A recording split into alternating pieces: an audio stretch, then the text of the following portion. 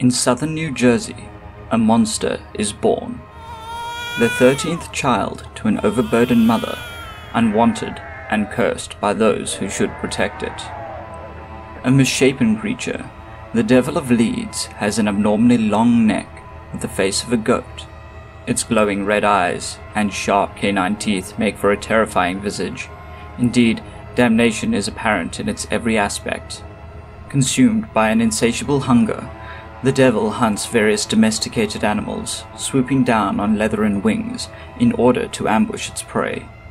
All too often have farmers and good townsfolk come across this beast in the midst of its savagery, only for the monster to take flight and flee before proper arms might be brought to bear. Its cloven hooves often leave strange bipedal prints in the snow and mud of the surroundings of New Jersey, with many people waking up to the trip trapping of this creature as it stalks across their rooftops, leaving only those unnatural hoofprints as any sign of its passing. Its scream curdles the blood of any and all who hear it, and is often emitted as the beast attacks or flees. This is perhaps the most startling part of its nature, as its voice can only be described as unholy. With a witch for a mother, and sired by the devil himself, it is hard to see how this creature may be anything other than some damnable beast born from the loins of Satan himself. Its forked tongue and pointed tail bear testament to this cursed lineage, though the devil poses a threat to wandering children, murdering them as they play. Very few have mustered the courage to fight back against something so utterly terrifying. Even so, there are some poor souls who mistakenly believe that they might be able to trap this foul beast and put it on display as though it were some simple curiosity from the heart of the jungle. However, they are all soon proven very wrong. None seem to be able to harm the creature in any meaningful way, and that it has been prowling the lands of New Jersey for nigh on two centuries means that we may never truly be free of this misbegotten beast and the terror that stalks along with it. Ultimately, we may find this devil of New Jersey may be haunting our modern world for a very, very long time.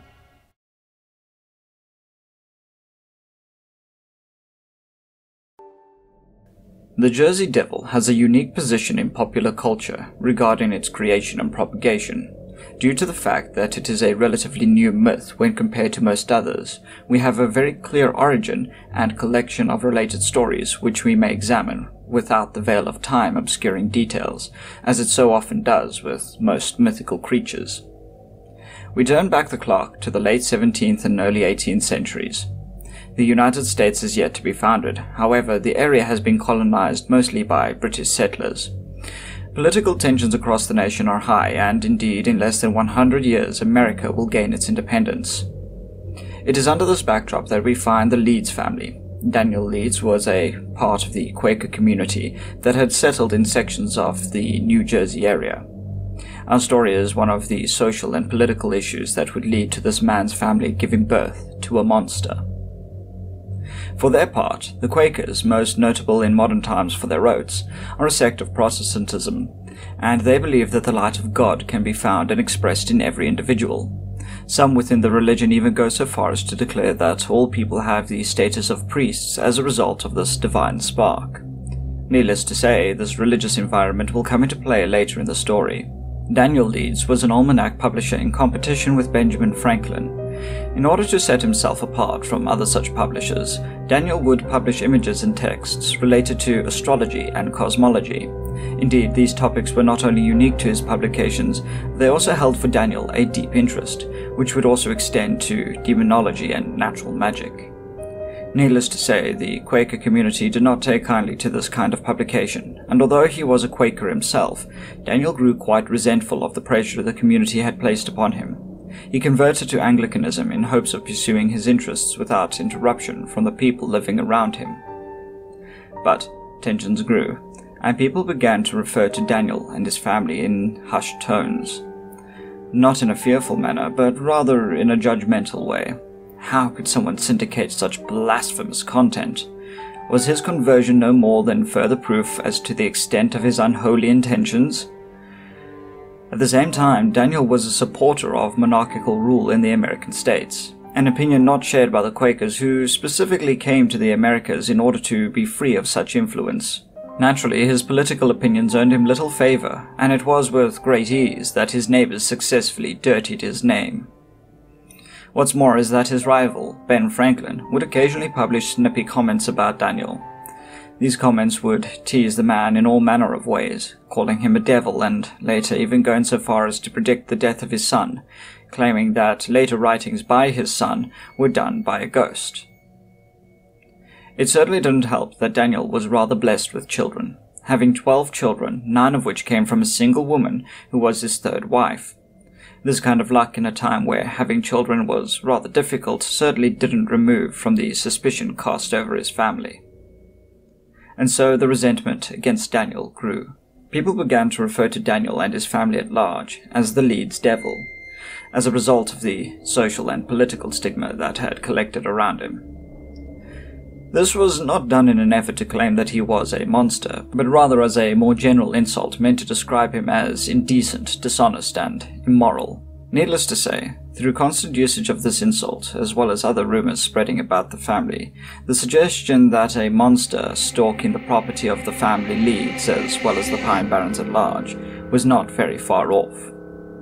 Nearly a hundred years after the socio-political rivalry, with people hearing about stories but being far removed from the culture that produced them, we would see individuals suddenly claim to have encountered the Jersey Devil. Notably, the elder brother of Napoleon Bonaparte, Joseph Bonaparte, in 1830 claimed to have seen some kind of creature that he called the Jersey Devil. And ten years later, in 1840, we see the devil blamed for the killing of livestock in the area. However, it isn't until the 1900s that reports and hoaxes suddenly increase, notably during the week of January 16th to January 23rd in the year of 1909. Hundreds of sightings and encounters with the Jersey Devil were reported, and some people claim to have been attacked or fought with the creature. The sudden hysteria must have seemed terrifying to people living in the area at the time.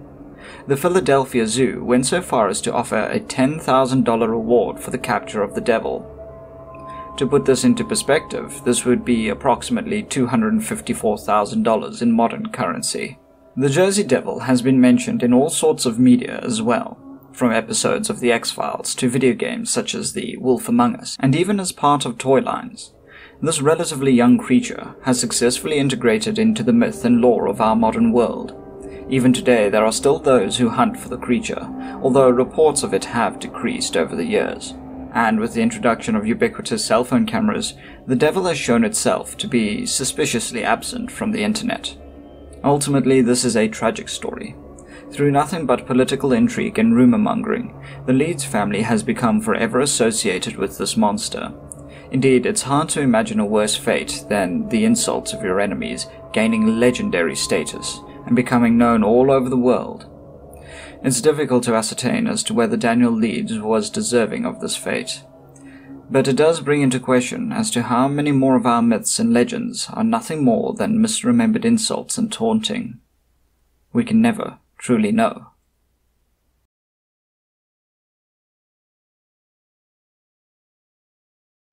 Following the legend of the Jersey Devil gives us a strong background to work with in order to flesh out this creature. Initially, we look to the creation of the devil, in which it is born to a rather fecund mother, as the devil is meant to be her thirteenth child. At this point, an important aspect to note is that the Jersey Devil is essentially human, rather than some extravagant fantastical beast.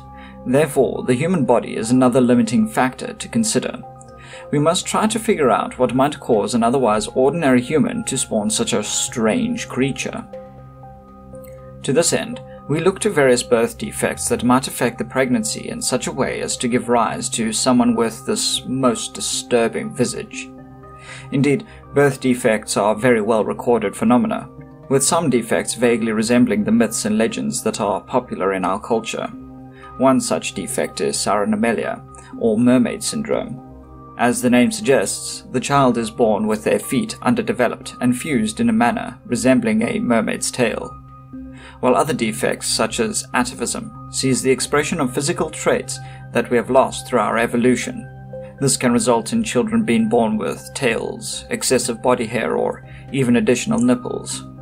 There is no consistent cause for these defects, however. Everything from genetic disorders, developmental abnormalities, or exposure to teratogenic substances can lead to these issues. Although often we are not at all sure as to what causes such defects to manifest, as is the case with mermaid syndrome. However, factors related to conception, birth, and fetal development certainly do affect the chances of defects arising in children. Most notably, as is the case of the Jersey Devil, Mother Leeds in the legend supposedly has 12 other children prior to the devil.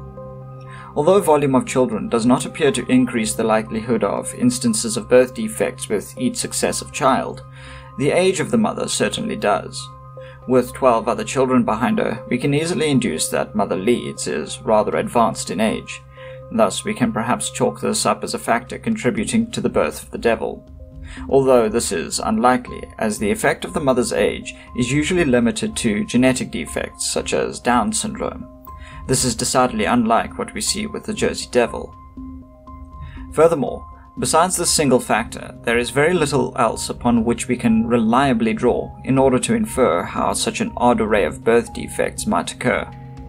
New Jersey has no history of anomalous birth defects, even during the time the Jersey Devil was supposedly born.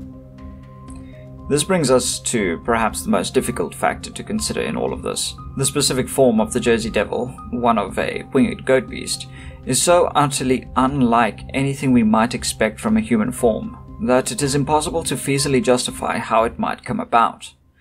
At a stretch, we may consider the effects of the aforementioned teratogenic substances in conjunction with some pre-existing defect present in the child. As the name suggests, a teratogen is a substance that makes monsters, rather fitting considering the topic. Common teratogens include alcohol, nicotine, and radiation, while others can be found in drugs such as capsaicin or Accutane. In most of these cases, these substances are safe for adult consumption, but their effects on fetuses is dramatic. These substances act on the fetus by inhibiting the development of enzymes, proteins, and other structures, as well as damaging DNA during fetal development. Naturally, this leads to the unfortunate results we see in cases where such substances have taken their toll on a child. One might think that the fact that the devil is the 13th child might contribute to Mother Leeds' exposure to these substances. However, there is no data on matters such as changes in alcohol consumption across multiple births, or any other common teratogen. According to the Medical Journal of Australia, it appears that, as women age, they are in fact less likely to consume teratogens during pregnancy. However, teratogens have historically been used by accident to treat people during pregnancy, Famously, thalidomide was used during the 1950s to treat morning sickness. At the time, it was unknown that thalidomide exposure caused severe birth defects in the form of extremely underdeveloped limbs. Considering that the time in which the devil is said to have been born, there may be a chance that Mother Leeds was exposed to some unknown teratogen, but data from the 1700s and 1800s regarding this is obviously lacking. Although, in modern New Jersey, 1 in 25 births have some kind of serious birth defect according to the Center for Disease Control and Prevention, but this mostly consists of things such as cleft palates and the like. Ultimately, we find that what we are discussing is statistical odds. While it is perhaps reasonable to imagine that some combination of these birth defects, such as an atavistic tail and hair, in addition to various bone deformities that we might see from thalidomide exposure or fetal alcohol syndrome, acting in conjunction with some kind of skin ailment that might resemble wings, the chances of all this occurring simultaneously are vanishingly small. All of this information leads us to conclude that someone being born who even remotely resembles the Jersey Devil is extremely unlikely. Indeed, the English language is perhaps ill equipped to accurately express how unlikely this is. It would simply suffice to say that it is impossible. Even so, there is a kernel of truth to every legend. Who knows what strange and unlikely set of circumstances might have led to the creation of something resembling this creature? It could even be born today,